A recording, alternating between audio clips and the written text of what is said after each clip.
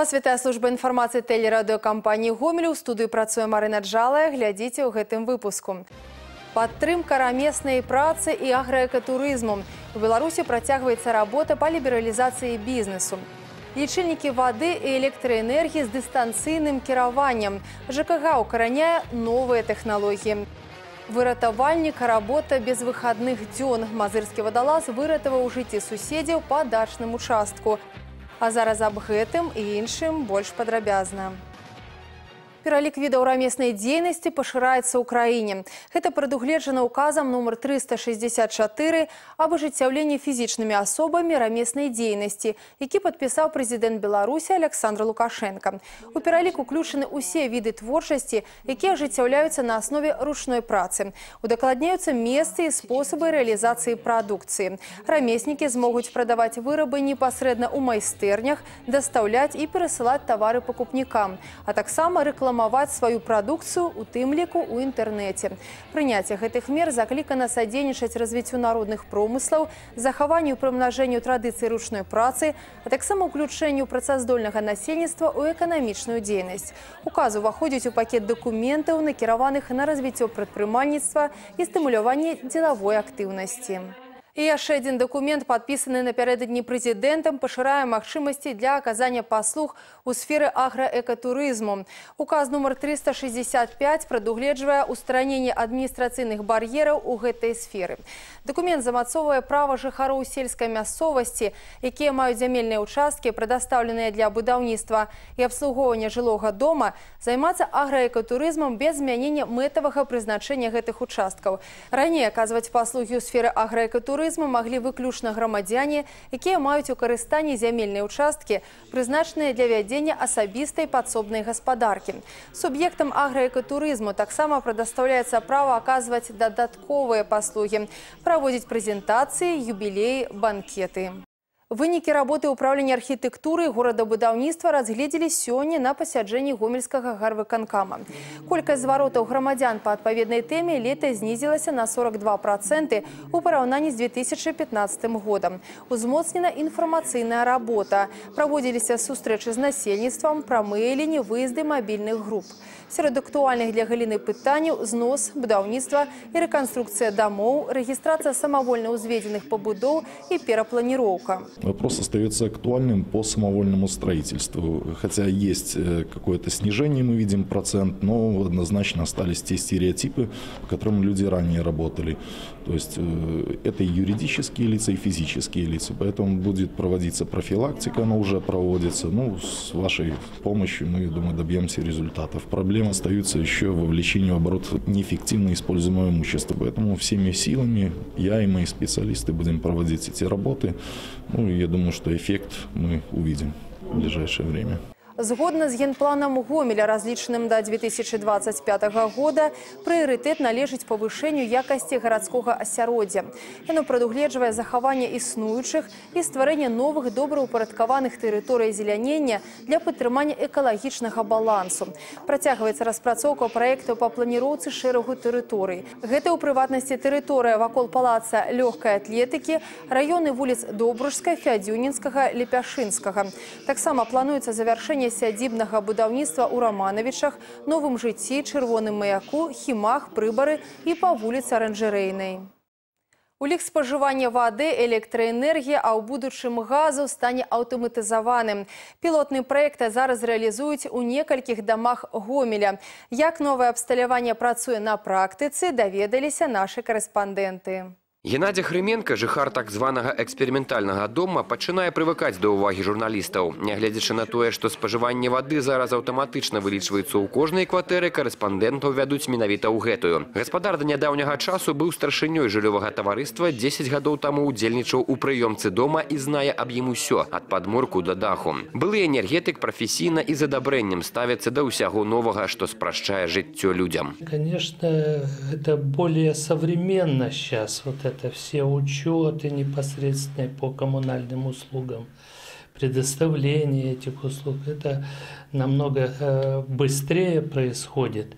И поэтому тут никаких проблем нету ни как для нас, так и непосредственно для предприятий, которые предоставляют эти услуги. Дзейнічае сістэма наступным чынам. У 72 кватэрах усталяваны спецыяльныя модулі, якія фіксуюць інфармацыю аб спажытых аб'ёмах і праз сістэму GSM дадзеныя ў рэжыме онлайн адпраўляюць у разліковыя цэнтры. Па-першае, так можна адразу выявіць неплацельшчыкаў, а ў кантралёраў узнікне неабходнасць хадзіць па кватэрах і звяраць паказанні лічыльнікаў. Можем контролировать все утечки, несанкционированный отбор воды в доме.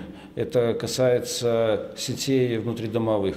А Второе – это то, что человек получает возможность уже контролировать свою оплату четко на последний день месяца, сколько потребил данной услуги по водоснабжению, столько и может заплатить, и это можем и контролировать. У будучым, калі рабатызаванымі сістэмамі абсталююць увесь жылы сектар, самастойна здымаць паказанні з лічыльнікаў вады і электраэнергіі не будзе патрэбы. Карыстальнікі інтэрнэт-банкінгу ўбачаць свае кубы альбо кілаваты ў асабістым кабінеце. Той, хто аплочвае жыллёва-камунальныя паслугі ў банку альбо на пошце, таксама зможа на месцы атрымаць інфармацыю аб спажытых аб'ёмах. мы сможем получить четкий баланс между водой, поданной в сеть, и потребленной абонентами. Потому что на сегодняшний день, к сожалению, все абоненты следуют правилу э, снимать показания в последний день месяца, ну и далее их оплачивать. Но уже имея этот четкий баланс, э, сможем оперативно оценивать состояние системы, своевременно выявлять э, повреждения на сетях, подключение несанкционированных абонентов, хищение воды и так далее. Ну и, в принципе, своевременно полученная плата будет направлена в дальнейшем на реконструкцию, развитие системы и улучшение качества обслуживания абонентов. Дарэчы, новабудоўлі плануецца адразу абсталёўваць новымі сістэмамі. Але гэтая добрая і карысная справа патрабуе вырашэння шэрагу заканадаўчых момантаў і, зразумела, вялікіх грашовых выдаткаў. Марына Джалая, Сергей Нігеравіч, Александр Харлампаў, тэлерадыёкампанія «Гомель». 35-гадовы мазырскі вадалаз Михаил Глушакоў выратаў на пажары ў прыватным доме двух суседзяў, пажылых мужа і жонку. У сваім учынку мужчыны нічога асаблівага не бачыць. Кажа, рабіў тое, што быў павінен. Свой выхадны дзень вадалаз мазырскай выратавальнай станцыі вырашыў правесці на дачы. Працаваў на участку, калі пачуў крыкі аб дапамозе. Не раздумваючы, кінуўся да суседзяў. Выбежал в соседний участок дома, сразу же понял, что дом горит, как, как в кино шел дымок. Забежал в веранду, там находился пожилой мужчина, тут же его вытащил на траву. С его слов оказалось, что там еще находится его престарелая жена, женщина, разбил с другой стороны дома окно и ее тоже вытащил. Все, дом стал полностью гореть, как бы. Приехал МЧС, скорая. Калегі, супрацоўнікі раённага падраздзялення МНС падзякавалі Михайла Глушакова за яго дзеянні ў надзвычайнай сітуацыі. Зараз яны рыхтуюць дакумент, каб заявіць вадалаза на штогадовы абласны конкурс выратавальнік года. Сёння азначаецца сусветны дзень псіхічнага здароўя. Яно вызначаецца як стан дабрабыту, пры якім чалавек рэалізуе свае здольнасці, спраўляецца з жыццёвымі праблемамі і можа прадуктыўна працаваць на карысць грамадства. Па дадзеных абласнога цэнтра гігіены эпідэміялогіі грамадскага здароўя каля 7% насельніцтва нашай краіны хоць бы раз вярталіся за дапамогай да спецыялістаў у галіне псіхічнага здароўя. Аднак медыкі лічаць, што рэальная колькасць людзей з псіхічнымі расстройствамі значна большая. У еўрапейскім рэгіёне гэта каля 15% насельніцтва. Пра то, як падтрымліваць сваё здароўе ў норме і як атрымаць дапамогу, мы раскажам у нашых вячэрніх выпусках. У гомелі працягваюцца акцыі па прафілактыцы хвароб сістэмы кровазвароту. Падчас іх правядзення ў буйных гандлёвых аб'ектах спецыялісты вымеруюць артэрыяльны ціск і дадуць кансультацыі па здаровым ладзе жыцця, харчаванні і рухальнай актыўнасці. Все жадаючыя могуць даведацца пра свой індекс масы цела і атрымаць навыкі самастойнага вымярэння ціску. Заўтра акцыя пройдзе з 14 до 16 гадзін на цэнтральным рынку каля ўваходу укрыты павільён з боку вуліцы вуліцы сялянскай. 18 кастрычніка наведвальнікаў чакаюць у супермаркеце па вуліцы сухога 2. Апошняе ў гэтым месяцы мерапрыемства запланавана на 25 кастрычніка. З 14 до 16 гадзін акцыю правядуць у супермаркеце па вуліцы Мазурова 79. Дзяржаўтаінспекцыя сёння правядзе масіраваную адпрацоўку аўтадарогі М10. У другой палове дня траса мяжа Расійскай Федэрацыі Гомель-Кобрын на ўсёй яе працягласці па Гомельскай вобласці пад пільнай увагай супрацоўнікаў ДАІ. Нарады ДПС выставяць у найбольш аварыйна-небяспечных месцах. Паралельна аналагічныя кантрольныя мерапрыемствы правядуць у суседняй Бранскай вобласці на аўтадарозе М13. Бранск, Навазыбкаў, мяжа з Рэспублікай Беларусь. Далей у эфіры спартыўны агляд. З навінамі спорту вас пазнаёміць Максім Савін.